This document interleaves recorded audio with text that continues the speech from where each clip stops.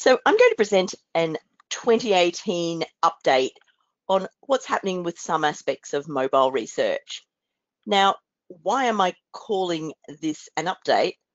That's because I have done mobile presentations in previous years and whilst some of that information is still relevant, I don't need to rehash it. So I will occasionally refer to an earlier presentation.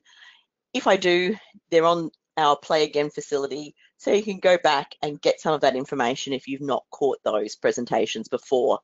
So this is very much an update. I'm going to be taking us through three parts. So um, you'll be able to get a grab of three different aspects of mobile research. So I'm first going to have a look at what's been happening with mobile usage and having an update on that. I'm going to have a look at where we're going with mobile first and questionnaires, and then finish up by having a look at the exciting bit of what's perhaps next. So if we have a look at what's been happening, I'm going to have a look at a few of the statistics that are published by some of the agencies around the world that give us that data that gives us that rich picture of what's happening in various places around the world. So what we know when we bring all this data together is that mobile just keeps growing. This is um, a chart from the Pew Research Center in the US, and it shows from 20, 2008 to 2018 what's been happening with the growth of devices. So you can see there we've got a line for smartphone and a line for tablet, and you can see that both of those devices have just been growing really strongly over the last 10 years. So much more smartphone usage, much more tablet usage. Then if we have a look at, at the global situation and have a look at what's been happening with mobile broadband, this is some data that comes out of um, from the report called Measuring the Information Society. That's from the ITU they publish a range of great statistics. So if you're after the nitty gritty of a whole lot of information about connections, different sorts of mobile connectivity from around the world in a whole range of countries, they are a really rich resource of information and you can spend hours and hours, days and days plowing through all of their information. But what you can see here is the growth in active mobile broadband subscriptions. So you can see across the world for the last 10 years, really, really strong growth in mobile broadband. And if we then start to have a look at, at these global differences in usage, each of these lines represents a different part of the world. So we've got an orange line that shows us the number of connections per 100, 100 inhabitants for the world, but then you can see a line for the developed world, the developing world, and less developed countries. And you can see that those rates of subscriptions are just continuing to grow. But you can see that we have much higher levels of connectivity in the developed world and much lower levels of connectivity in the developed world. So growing everywhere, but still there are parts of the world where connectivity is relatively low. And we need to remember that when we're doing global studies. Sometimes for people who work in developed countries, you actually get used to almost everybody having internet, having access, having a smartphone. And it's sometimes when you move into global studies really important to remember that different parts of the world these figures can be radically different. So key point to take away is mobile keeps growing, but not everybody is connected yet. And what are some other changes that have been happening? This is some data that comes out of Mary Meeker's Internet Trends Report. For those of you who like to follow what's happening in the IT, the internet, the mobile space every year, and in around about May, so I would be expecting to see something relatively soon, Mary Meeker puts out an enormous deck of charts that go through a really broad range of statistics relating to IT, internet usage, mobile uses. Um, different years they'll focus around different themes, so it's really an interesting one to keep an eye out for. Now this chart is showing the hours per day that an adult spends with digital media from 2008 through to 2016. And you can see there the, the amount of time that people are spending online has grown really steadily. But if you have a look at that, you'll see that a lot of that growth is really being driven by people spending time on their mobile devices with digital media. So mobile is really driving this growth in time people are spending with digital media. If we then have a look at US advertising revenue, we still see that growth. But again, we see this same theme. It's mobile, spend on advertising on mobile platforms that's driving that growth. So it really highlights the importance of mobile in this whole idea that we're spending so much more time online. The other thing to keep in mind is the picture of mobile usage can be quite complicated. Sometimes when you look at averages or top line figures, you think, oh, yes, you know, this is growing, everybody's the same. But if you have a look at the data underneath, sometimes you'll be in for some surprises and the picture isn't always as clear when you dig beneath the surface. Now, this is an example more to illustrate why you need to drill down into these figures. So if your question was, which countries in the Asia Pacific region are leading the way in using mobile surveys, you could look at this and you say, well, Australia's out in front, but Indonesia's also strong. So this is the percentage of spend on surveys that are being spent on mobile surveys. So you can see the figure there for Australia is 19, Indonesia's 10. So you may start to think, oh, Indonesia is looking a bit like it's following the pattern of Australia. And this is data from the ESOMAR GMR report. But if we then drill a little bit deeper and say, okay, Indonesia and Australia, what other modes are popular in those countries? You start to see that although from a mobile perspective, you might think they're similar, from a general data collection mode perspective, they're actually very, very different. The dominant mode in Australia is online, whereas the dominant mode in Indonesia is very much face-to-face. So when you think of the whole spend on surveys, they're actually very different countries, but in some ways they might be superficially the same. So it's a, a cautionary tale to really dig down and look at these things in detail because there's often complications. Sometimes developed countries have very similar profiles. Sometimes less developed countries use more advanced technologies because they've leapfrogged. So if you're doing international research, you really need to think about these things. And we would always suggest if you're trying to do mobile research in a country that you're not that familiar with, you really do need to have a local partner, somebody who can advise you about these sorts of things. So last year we spent a lot of time talking about the importance of mobile first questionnaires. And so just to recap, why were we so keen to make you realize how important mobile is? And that's because we believe it, it's really quite essential for your survey research currently.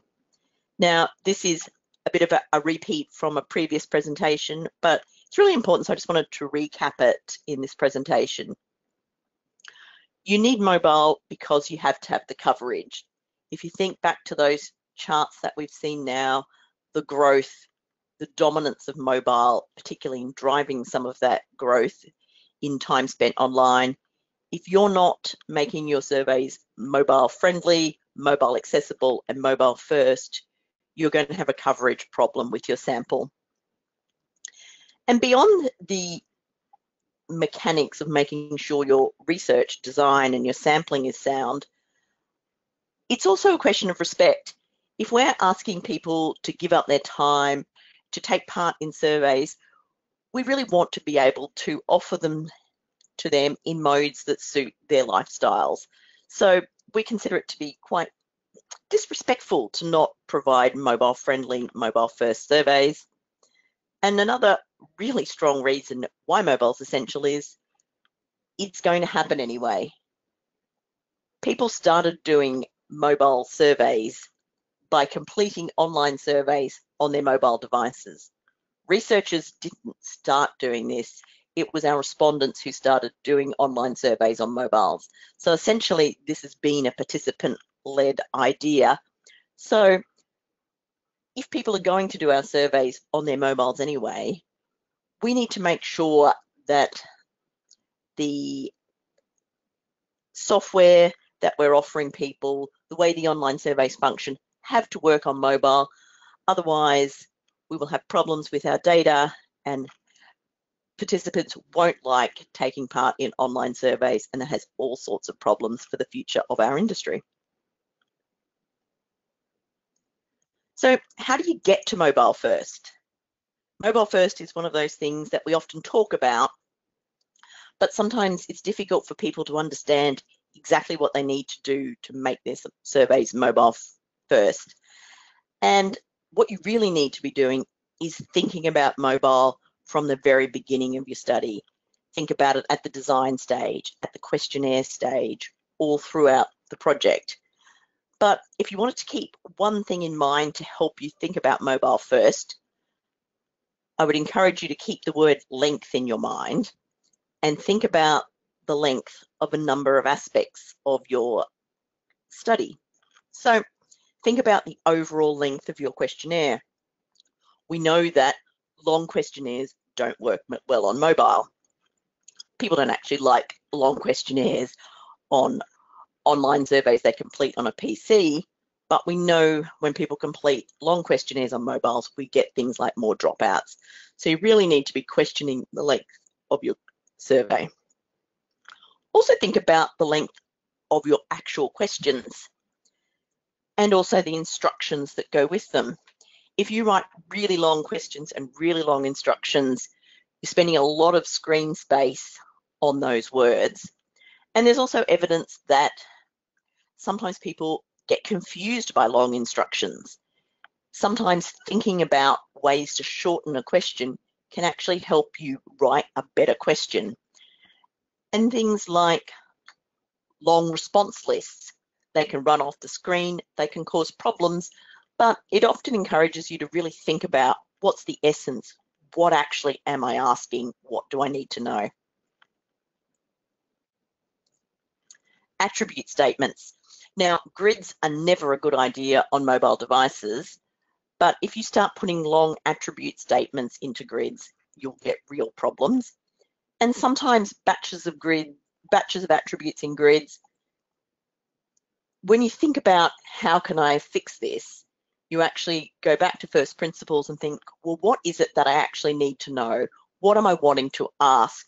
And it will often result in a much better question being asked than a grid with a lot of attributes. And also think of scale points, and that can be the number of in terms of length. Do you really need to have a 10 point response scale? There is evidence that shorter scales can perform quite well. Maybe you could be having a three point scale that will fit much more nicely, and maybe it's actually even easier for your respondents to answer accurately. So really question everything but one simple way of thinking about it for mobile is to question length. So another thing that people sometimes wonder when they're faced with a questionnaire that isn't really working on mobile, how about we just make it landscape? We'll put a little message in and we'll say to the respondent, can you turn your phone around? We know that most people use their phone in what we would call a portrait style, but we can ask them to turn it round. And what we've been discovering is no, that does not work. Even when people are asked to rotate their phone, they tend not to. So you can't use that. It's not an easy fix. And the other thing that worries people when they start thinking about transitioning to a mobile first mode is, won't it change my results? And the answer is, often it will change your results, but you need to think about why is it changing my results? If the results are changed because actually you've increased your coverage, you've got more people, a better quality sample responding to your questionnaire, that's actually a good outcome. If it's changing your result because you've not implemented it properly, it's not really working on mobile, that's actually not good. So think about how going to mobile can improve your study. And if you're improving it, that's great. You may need to think about what that means for things like longitudinal studies, benchmarks. There are things you can do to manage that transition. Sometimes people just take an approach and say, we are changing this, we're making it better. We're happy with that, and we will forego legacy tracking measures. So what's next in mobile? I'm not going to talk too much about this because there are other people who are going to be covering this. But we're certainly going to see more interest in sensors and passage, passive data collection, which we've been talking about for a while. We're starting to see some action with chatbots. I think we're starting to rethink voice in the age of smart speakers. And obviously we've got the Internet of Things coming up on the horizon. So in terms of passive data and sensors, collecting data via sensors, it's not quite there yet. It's tantalizingly close, but we've still got some issues. Um, some of those issues include things like device issues. There can be compatibility. Battery life is sometimes problematic. If you ask somebody to, you know, keep a diary over the course of their day, often we'll find that people's batteries are just getting too flat towards the end of the day. So sometimes that results in missed measurement. But these are things that we'll be able to deal with. We need to think about the willingness of participants. Not everybody wants to take part and not everybody can take part. And these sorts of issues can have impact impacts on our samples. So those need to be considered. We will be talking a lot about what informed consent means in the context of these sorts of measurement techniques. Informed consent, how much does somebody have to understand what we're doing to be able to give their informed consent? And we really need to see more pilots and trials happening so we get more of an understanding of the method.